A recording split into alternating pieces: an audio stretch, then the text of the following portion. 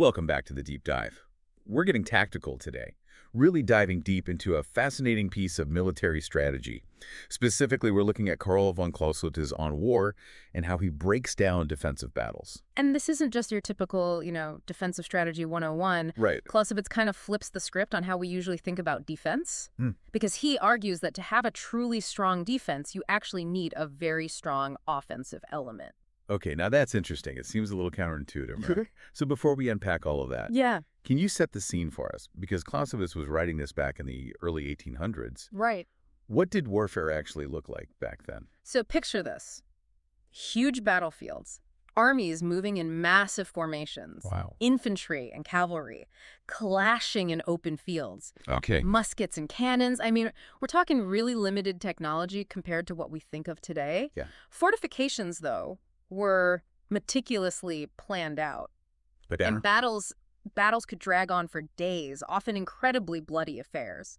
Yeah, that's a very different picture than, say, you know, Oh yeah. drones and lightning-fast strikes that we see in modern warfare. Absolutely. So, just to clarify, Clausewitz is saying that even with these massive armies Yes. and these kind of limited, you know, maneuverability options, a purely defensive posture, it wasn't enough That's exactly right. to be successful. Yeah, and this is where Clausewitz gets really interesting. Yeah. Because he argued that just withstanding attacks, you know, just kind of waiting for the enemy to tire themselves out, that wasn't enough for a real lasting victory. Right. He saw a strong defense as something much more active, much more about, you could say, controlled aggression. Controlled aggression. So not just holding the line, but knowing when and where to punch back. Exactly. He lays out a whole strategy for weaving offensive action into a defensive posture. All right, well, let's break it down.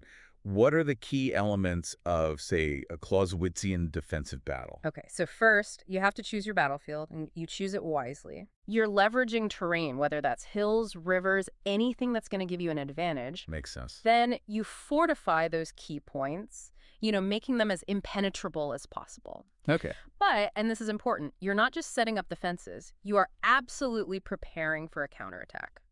So it's also like strategically luring the enemy in, setting a trap almost. Exactly. That's a great analogy. Okay. Clausewitz actually talks about applying pressure against the center of gravity. Okay. So this means understanding what is most critical to the enemy's attack. Hmm. And you're focusing your efforts there. Okay. You let them exhaust themselves against your strong points, but all the while you are wearing them down, you're probing for weaknesses, Right. and then when their offensive reaches its peak, that's when you hit them hard and you exploit that vulnerability. Interesting. You disrupt their momentum, and that's how you turn the tide of the battle.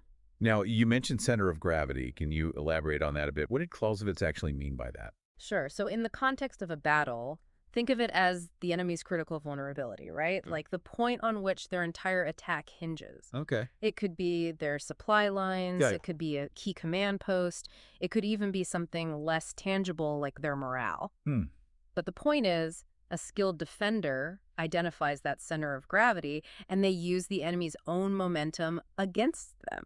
So it's almost like turning their strength into a weakness. Exactly. Interesting. Now, did Clausewitz give any historical examples of this kind of defensive strategy actually working? He did. He points to the Battle of Leipzig in 1813. Okay. The Allied forces, even though they were initially on the defensive, used this strategy of these strategic counterattacks to secure a really important victory against Napoleon. Wow. And then there's also the Battle of Katzbach, where the Prussians, again, initially in a defensive posture, completely routed the French using well-timed offensives.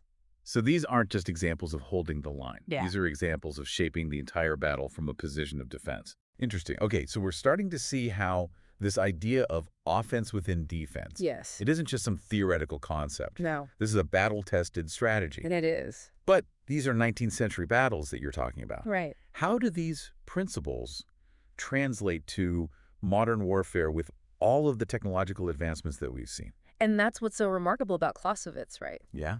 Because the weaponry, the technology, yes, it's evolved, but these core strategic principles that he identified are as relevant as ever. Wow. It's about adapting those principles to the modern battlefield. So we're talking about adapting 19th century strategies to the 21st century. Yeah. Help us connect those dots. Okay. What would a Clausewitzian defense look like in modern warfare. Okay, let's take cyber warfare, for example. Okay. Imagine a nation facing a cyber attack. Yeah. Now, a purely defensive approach might just try to block that intrusion, right? Right. Build up stronger firewalls. Uh. But a Clausewitzian approach would go further. So instead of just shoring up defenses, You're Yeah. saying they'd be looking for a way to strike back. exactly. Okay. They might use their own cyber capabilities to target the attacker's infrastructure, Wow. disrupt their command and control, Yeah. essentially turning the tables. So you're using their aggression against them Yeah. in the digital space. It's offense within defense, but in the digital age. That's fascinating. It really highlights how these principles can be applied across such different forms of warfare. Right. But taking it back to Clausewitz's analysis for a moment, Yeah, he goes even further than that, doesn't he? he does. He actually argues that a well-executed defensive battle can actually lead to more decisive victories than a purely offensive one. Yes, and it's fascinating when you think about it, because Mhm. if you think about an attacker, they often aim to encircle, right? Right, right. To constrict, to limit the enemy's options. Right. But a skilled defender who's using this blend of offense and defense hmm can use that very pressure against the attacker. Yeah. It's almost like that martial arts principle, using your opponent's weight against them. That's a great way to put it. Yeah. By yielding strategically, by choosing when and where to engage, Okay. the defender can actually stretch the enemy's forces, Okay. creating gaps, creating vulnerabilities. So they get spread too thin, Exactly. and then you uh, can exploit those weaknesses. Then boom, they can counterattack with concentrated force, potentially splintering those overextended enemy lines. You know, that reminds me of what we were talking about before, that pressure against the center of gravity. Yes. It's not just about withstanding that pressure. Yes. It's about knowing when and where to apply it back exact. to inflict the most damage. You've got it. And Clausewitz, he emphasizes this point again and again. Yeah. A defender shouldn't just be thinking about holding the line. Hmm. They should be constantly analyzing, planning for that decisive counterstrike. Okay. And he uses the Battle of Katzbach, which we talked about earlier, as a prime example of this. Right. The Prussians, initially on the defensive, Right. they didn't just repel the French, they routed them Wow. using this exact strategy Oh, strategic yielding and then a devastating counteroffensive. So to be clear, this isn't about just surviving the enemy's attack. No. It's about exploiting that situation to fundamentally change the dynamics of the entire conflict. Absolutely. Wow. And he uses another battle as an example the Battle of Leipzig. Okay. He illustrates how a decisive victory from a defensive posture can completely shift the strategic landscape, Mm-hmm. potentially dividing enemy forces, throwing their whole campaign into disarray. Wow. A truly effective defense doesn't just win the battle, Yeah. it can dictate the course of the entire war. It really makes you think about strategy in a whole new light. It does. It's not just about being aggressive, it's about being adaptable. Yeah. Reading the situation, knowing when to push and when to hold back. And that's such a critical skill, not just on a battlefield, Right, but in yeah. any kind of strategic thinking. Recognizing those subtle shifts in momentum, knowing when to seize the initiative, that's the hallmark of a great strategist. Absolutely. And to illustrate this point even further, Clausewitz uses a really interesting analogy in this chapter. Oh. He compares a defensive battle to a fire. A fire. Oh, hey, now I'm really intrigued. Right. How does that work? So he says the defender should observe the battle as it burns with a moderate blaze before him. Okay. The idea is you don't want to let the fire rage out of control, Okay. but you also don't want to extinguish it prematurely. So you're letting the enemy expend their energy against your defenses. Yes, But you're also kind of managing your own resources, waiting for that perfect moment to strike. precisely. It's about finding that sweet spot, right? Right. That point where the enemy has overextended themselves. Right. Their resources are depleted, and maybe, just maybe, their confidence is waning. Okay. That's when you exploit their exhaustion and turn the tide decisively. It really is a powerful image, this like controlled burn. Yeah. You're letting the enemy think they have the upper hand, but you're really orchestrating their downfall. You got it. And it's that orchestration, that strategic mastery of a defensive battle. That's what Clausewitz, he really wants to drive home. He's Right. trying to give us, well, give anyone reading his work a framework for thinking about defense, not as this passive thing, but as a launch pad for decisive action. So for our listeners out there, and we know many of you have firsthand experience with the complexities of military strategy, Yeah. what's the key takeaway from Clausewitz? What can they really glean from this chapter?